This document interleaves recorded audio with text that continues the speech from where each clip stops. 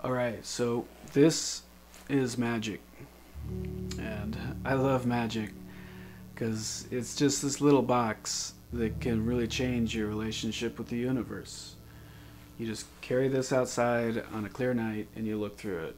And even if it's just for 10 minutes, you spent that 10 minutes breathing the night air, seeing beautiful stars, our moon, planets in our solar system, even nebulas and distant galaxies, really seeing the beauty of the universe that we're a part of uh, with your own human eyes. No pixels, no screen, the real thing. And uh, we need a break from our lives and uh, even from ourselves. And you know, you can dream about a vacation to a tropical island somewhere, but there's actually an infinite shoreline above your head every single night. And magic will take you there. So, who is magic really for? Magic is for all kinds of people. Almost anyone can pick it up and carry it outside. I mean, it's a six inch cube. Magic itself weighs about three pounds, and this tripod is really nice and light and really sturdy. It works great. So, young or old, anything in between, this is something that you can handle. Um, so, magic is for people who like things simple. Check this out. You focus by turning the eyepieces. If your eyes are further apart, then you just pull them apart. If you want to zoom in on something, you just lock the position. You take these eyepieces out and you put in different ones. If you want to point at a particular spot in the sky, there's a green laser beam. Laser beam. And there's even a sight that you can look through too.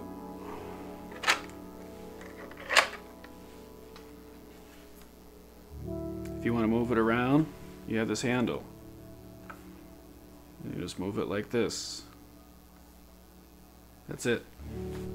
So magic is for travelers. If you can put it in a case like this and you can take it anywhere. If you're headed somewhere with dark skies, um, those skies are going to be unforgettable if you bring magic along with you. And by building yours beforehand, it gives you something fun to do while you're while you're waiting for that trip. You count down those days. It's like, yeah, I'm building my my gateway to the stars.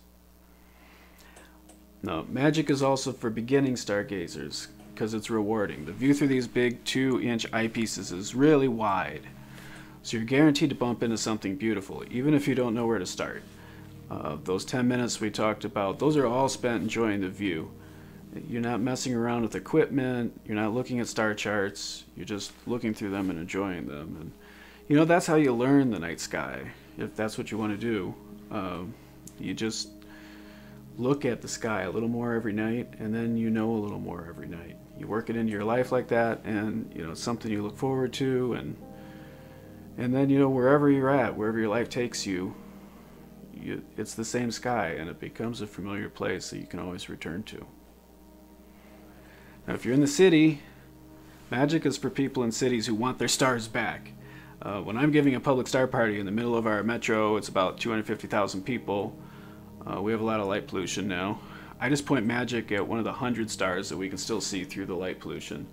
And I invite people to look through.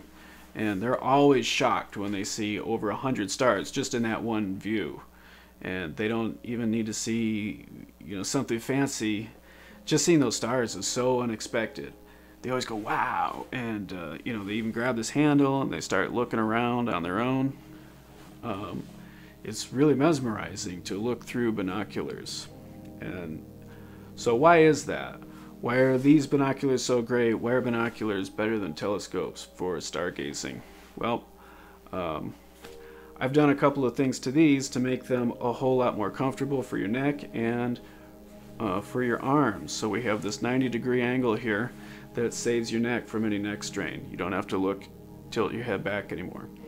And then this tripod means you don't have to hold binoculars steady. And so um, that just makes it a lot more pleasant, honestly. And uh, of course, binoculars are a lot more comfortable than telescopes because you have both eyes open. You feel so much more relaxed, and the view is brighter, it's sharper, and it's much higher contrast. And so it's just a lot punchier view. Uh, so now you're really ready to explore the sky because you're comfortable. So instead of just grabbing these quick, uncomfortable peeks here and there at the stuff that other people have put on lists and decided that you should look at, um, you just wander around and explore. And it's great. And uh, of course, you can see more than stars with these. I mean, zooming in on the moon in any city, no matter what the light pollution, is a beautiful way to spend some time each evening. You watch as the craters change through the lunar month, and um, the planets are another thing you can do. Um, you can chase them through the sky, and when you zoom in by using these other eyepieces, you can see Saturn's rings, and you can see Jupiter's moons, and uh, things like that comet that just came through. That was beautiful from my front steps with these. And then, uh, so we have these filters that can help us see nebulas. Uh, you know, nebulas like the Great Orion Nebula, um, right from an urban site. So here's the thing: is usually filters come like this. Instead of having to screw these delicate optics onto the back of an eyepiece in the dark, the way telescopes make you do, Magic has these uh, handy magnetic cartridges. They just drop in. So now you have your filters in and you can see your nebulas. And these cartridges work with uh, the other models uh, Analog Sky is working on too. Um, so urban stargazing is good, but of course going to a dark site in a rural area is even better. You can see all kinds of galaxies, the Andromeda galaxy, stellar nurseries, supernova remnants, dark nebulas, just absolutely amazing views. And at a real dark site, uh, you know, even experienced stargazers can see things they've never seen through a telescope, like the Heart and Soul Nebula, the Angelfish Nebula, um, Barnard's Loop, the North American Nebula, uh, together with the Pelican in one view. Um, that newly discovered O3 arc next to M31, and uh, even IFN. You know, you mount your binoculars on a tripod, you get this comfortable neck position, you add filters, and you can see so much more than you can see with just regular handheld 7x50s. Um, you know, if you've if you've never thought the words scutum looks incredible, uh, there's a whole new sky for you to explore. So yes, magic is definitely for experienced stargazers too. I mean, for you to enjoy, but also for inviting other people along. So, I mean, think about all the people in your life who would join in if you know they had something that was so easy and fun to look through and just explore around as you share the night together. So, uh, you know, last off, magic is also for people who have a hard time using binoculars. So, mass manufactured binoculars have all the optical adjustments locked down. And this leaves a lot of people out uh, who have different vision if their eyes are a little different from normal or whatever. If you've looked through binoculars and you've only experienced double vision, well, Magic has these knobs on the back for you. So this one moves the left eye up and down. This one moves the right eye left and right. And so that means that you can make the view work for you. All of a sudden, that double vision is one beautiful picture. And um, it's kind of it's kind of wild that that isn't a feature on any binoculars yet, but there you go. Here they are. So if any of those people sounds like you, magic is your new amazing way to experience the night sky you know, building it is easy. It's a lot of fun. We have step-by-step video instructions, and uh, people of all ages can do it. So, uh, like, subscribe, go to analogsky.co, and uh, sign up to be notified when this thing is ready. We'll have a special early bird offer for you, and um, thanks for checking it out.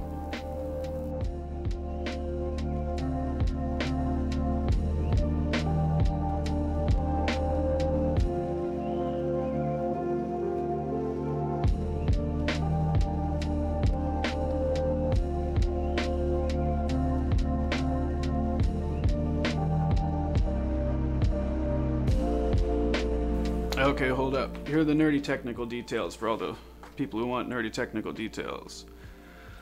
Okay, so what do we have here? 50 millimeter multi-coated achromatic objectives up front. They have 182 millimeter focal length.